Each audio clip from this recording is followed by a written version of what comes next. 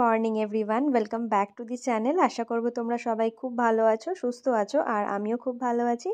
আবার নতুন একটা ব্লগে তোমাদের সব বাইকে আবার অনেক অনেক ওয়েলকাম আর যারা তোমরা আজকের আমার ভিডিওটা প্রথমবার দেখছ, তাদের জন্য বলে দিই, আমি তানিয়া ফ্রম লখনৌ উত্তরপ্রদেশ, কিন্তু বাড়ি হচ্ছে কলকাতায় মানে ওয়েস্ট বেঙ্গলে তো এখন বাজছে সকাল সাড়ে সাতটার মতো, আর আজকে হচ্ছে শনিবার।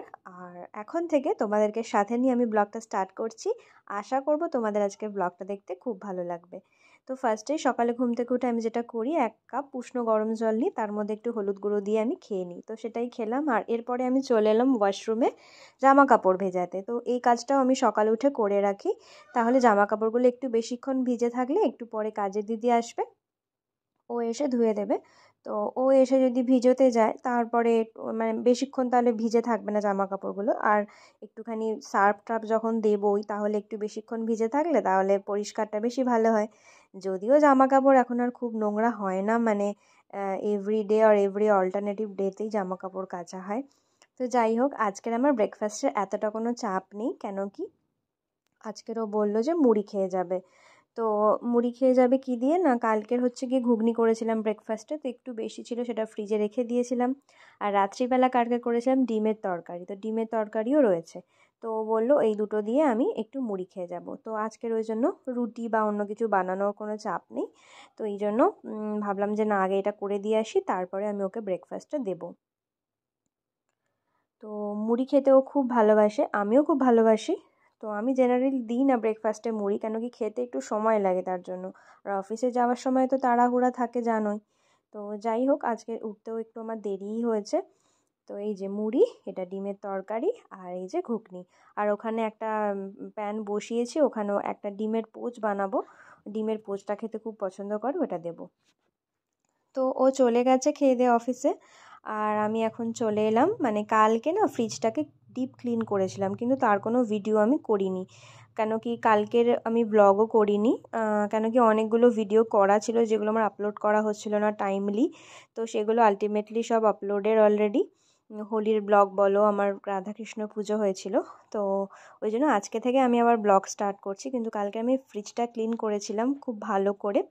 আর এই যে ম্যাটগুলো যে আমি পেতে মানে পেতে রাখি ফ্রিজে সেগুলোকেও বার করে ভালো করে ধুয়ে দিয়েছিলাম। তো সেগুলো শুকনো হয়ে গেছে, সেগুলোকে এখন আমি প্লেস করছি। এগুলো রাখলে না, তাহলে মানে ফ্রিজটা কিন্তু এতটা নোংরা হয় না। মানে ডিরেক্ট মানে কিছুটা হলেও নোংরাটাকে আটকানো যায় এই স্ল্যাবগুলো মানে এই ম্যাটগুলো রাখলে। তো এটা আমি ফ্লিপকার্ট থেকে অর্ডার করেছিলাম, বেশ ইউজফুল জিনিসটা। আর তাই জন্য ভাবলাম যে এগুলো জায়গাটা আবার জায়গায় রেখে দিই, তাহলে ভালো হবে। আর এই যে এই ট্রেটাকেও বার করে ভালো করে ক্লিন করেছিলাম, কালকের অ্যাকচুয়ালি ফ্রিজটাকে ডিফরেস্ট করেছিলাম বলতে পারো। এত আইস জমে গিয়েছিল। তো যাই হোক, এখন হয়ে গেল এটা আমার। আর কাজে দিদি এসে অলরেডি কাজ করছে আর আমার হয়ে গেল ফ্রিজ ক্লিনিং আর এরপরে আমি চলে এসেছি একটু আমার আপ মানে কি বলব, উপটান লাগাতে। এটা আমি লাগাই, প্রায় দিনই লাগাই। আর শীতকালে লাগানো বন্ধ ছিল। এখন গরম পড়তে মানে অলমোস্ট রোজই লাগাচ্ছি। তো আমি এর আগে অনেকবার শেয়ার করেছি আমি কি লাগাই। তো সেটা এখন একটু লাগিয়ে নেব। আর আমি মোটামুটি যখন অ্যাপ্লাই করি মুখে, গলায়, হাতে সব জায়গাতে মানে চেষ্টা করি অ্যাপ্লাই করার। এরপরে স্নান করে নেব। তো চলো এটা আমি পটাপট লাগিয়ে নিই।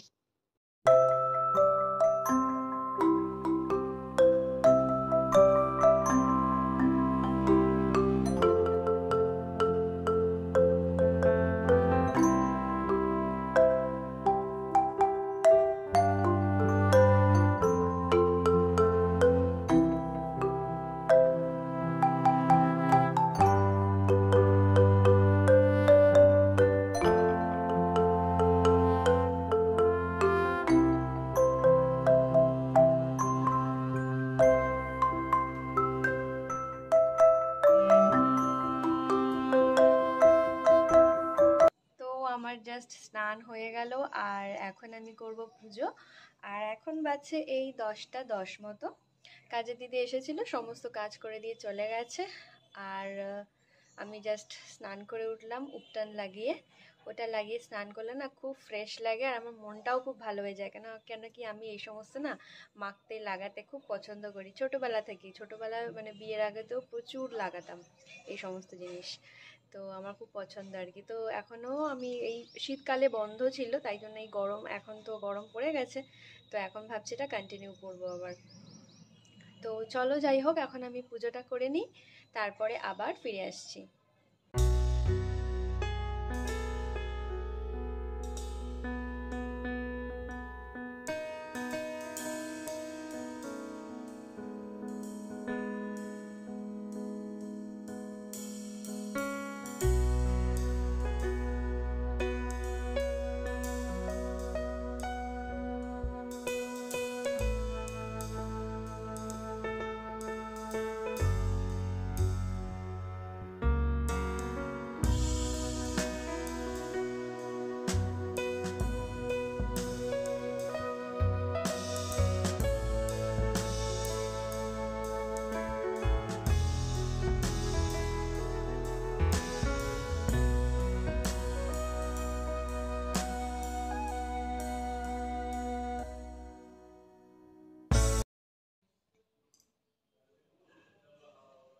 এটা হচ্ছে এক থালা ফুল, যেটা এখানে দশ টাকাতে দেয়। আমি জাস্ট তোমাদের সাথে শেয়ার করছি।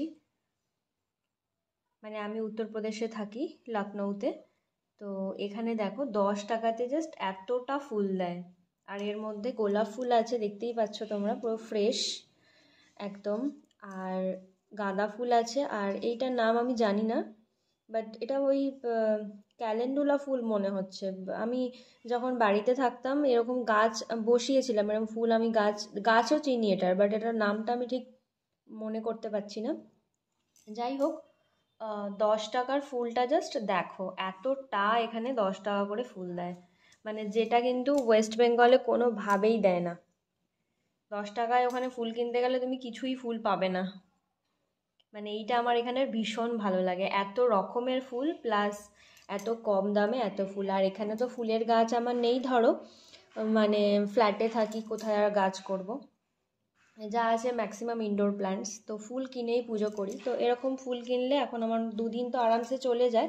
আরও দিন চলে যায়, এত ফুল নাও লাগে। কিন্তু অ্যাকচুয়ালি গরম পড়ে গেছে। তো কি হয়, গোলাপ ফুলগুলো একদিন পরে না পাপড়িগুলো খুলে যায়। তবে পাপড়িগুলো দিয়েও পুজো করা যায়।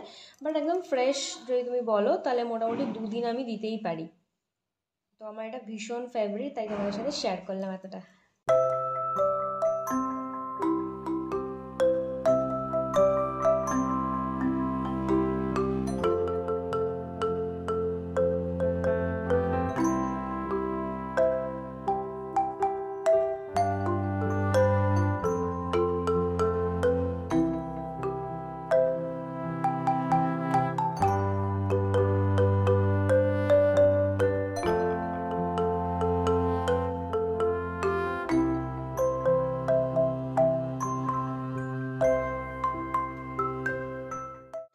চলে এলাম। আমার নিজের জন্য ব্রেকফাস্ট রেডি করতে। পুজো কমপ্লিট হয়ে গেছে। তো বানাবো হচ্ছে যে ফ্রিজে মিল্ক ব্রেড ছিল।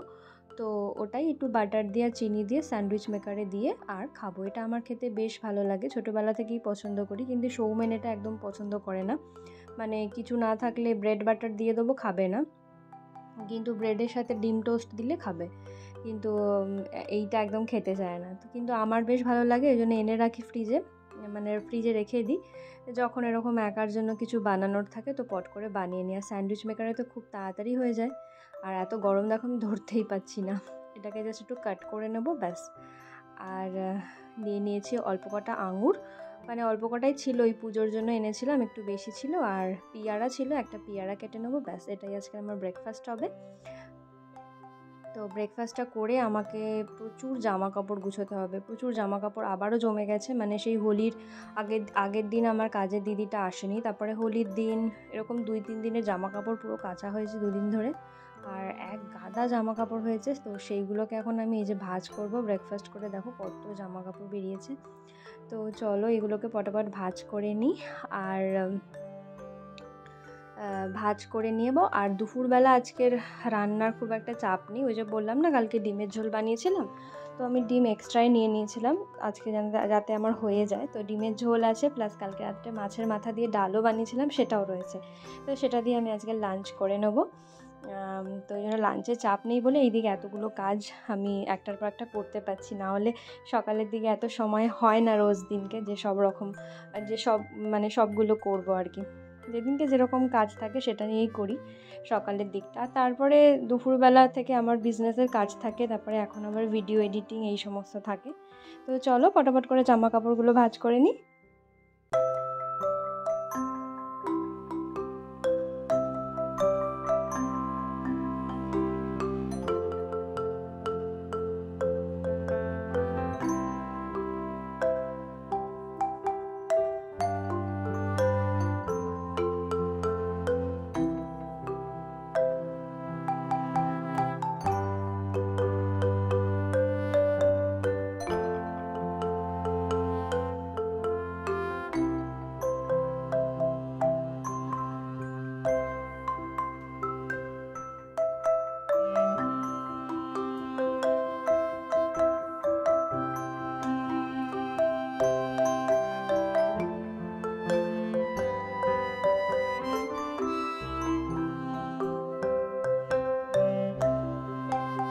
হয়ে গেল জামা কাপড় গুছানো আর এবার এলাম কিচেনে একটু চা বানিয়ে এখন বসে জাস্ট আরামসে চা খাব আর তারপরে আমার নিজস্ব কাজগুলো করব বিজনেসের অ্যান্ড ভিডিও এডিটিংয়ের আর তারপর লাঞ্চ করে নেব।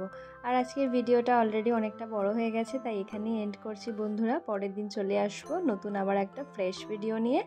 আশা যদি তোমাদের ভিডিওটা আজকের ভালো লেগে থাকে, তাহলে একটা লাইক করে দিও। আর যারা আমার চ্যানেলটা এখনও সাবস্ক্রাইব করনি, তারা প্লিজ সাবস্ক্রাইব করে দিও। তো চলো পরের দিন চলে আসব। আবার সবাই ভালো থেকো, সবাইকে ভালো রেখো। Tata, bye bye.